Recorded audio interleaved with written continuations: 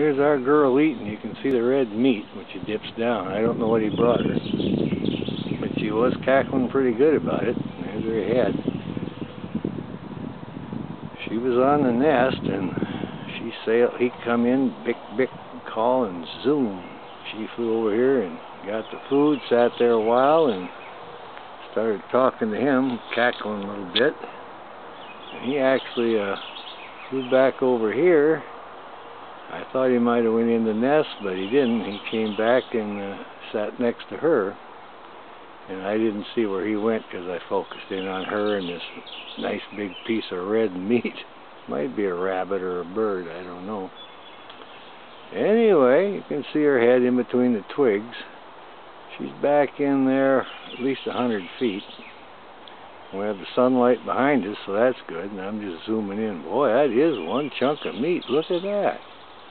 That is really red. Good size, too. I wonder what that was. It probably was a rabbit. Anyway, she was cackling before. She sure enjoyed it. She was telling how great that was. But I was trying to get pictures of her in the nest, but they sit so low. And then uh, when he said bick, bick, zoom, out she went over here and he gave her food and then she cackled away. And so I sat up here and wanted to get a movie of it.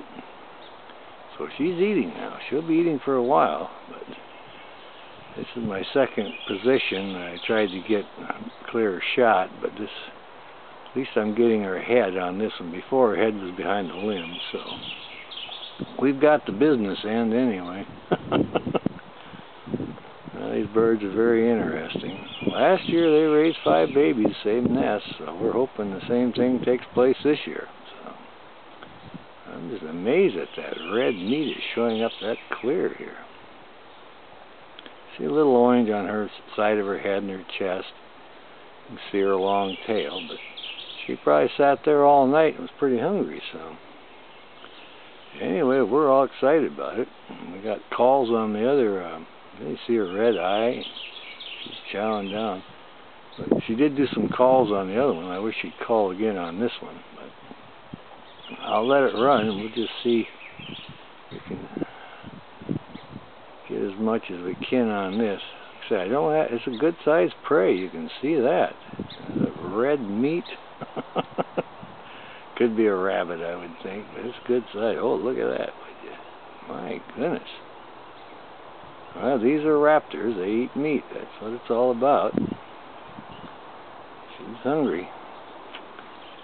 I always get a kick out of that call. It, just, it was just silence. You wouldn't think anybody was here. And then you hear that his call, bick, bick. That means I got food. And zoom, she's out of that nest, sailed right over to him. He hands it off to her, and now she's having a good meal. Well, I haven't had a good movie of her eating in a while, so this is pretty good.